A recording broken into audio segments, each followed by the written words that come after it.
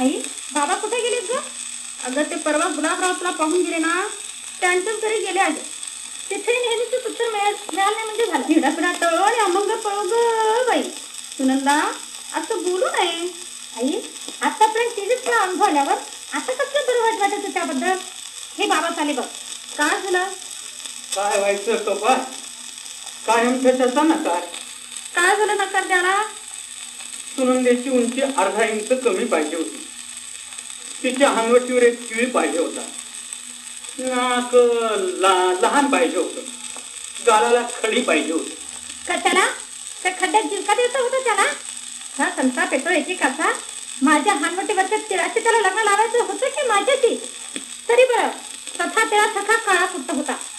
तसाच तो परवा आलेला दोषांचा वसम स्वतः होता शिरग्याच्या शिंगेसारखा आणि मी त्याला जरा लठ्ठ पाहिजे होते आणि तो मधल्यांचं गोपीनाथ माझ्या पोटाची नख जरा लांब दिसली. म्हणून मला नापसंत ठरवलं. की नखच त्याच्या डोळ्यात खुपसून त्याचे डोळे फोडायला पाहिजे होते.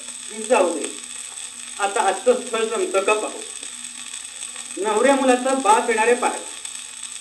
तेव्हा जरा कर्कतून आंबाडा बांध. मोठं कुंकू लाव. लांब हाताचं पोळकं घाल. आणखीन हे पहा. ते लफेदार पदराचं लुगडं नाही हं? मी काही ऐकणार नाही आता तुमचं. माझं लग्न आता मीच जमवते. पाहायला येऊन माझ्या सतरा खुडी करणारे हे करून रस्त्यातून मी जायला तर मा कुत्र्यासारखे माझे पाय साठत घरापर्यंत येते ती मोहनात आली तिलाच विचारा. अगदी खरं बोललीस तू. ह्या मोहनेचा तुला पूर्ण पाठिंबा आहे. काल मी एका माणसाची अशी फजिती केली सांगू? काय झालं? अगं मला गुलाबराव म्हणून कोणी पाहायला आले होते. गुलाबराव? हो. काळा कुट्ट गुटका पटपटीत डोळ्याचा आणि स्वतःला कवी समजत होतो आतापर्यंत आपण नव्याण्णव मुली पाहिला असं मोठ्या आयटीने सांगत होता.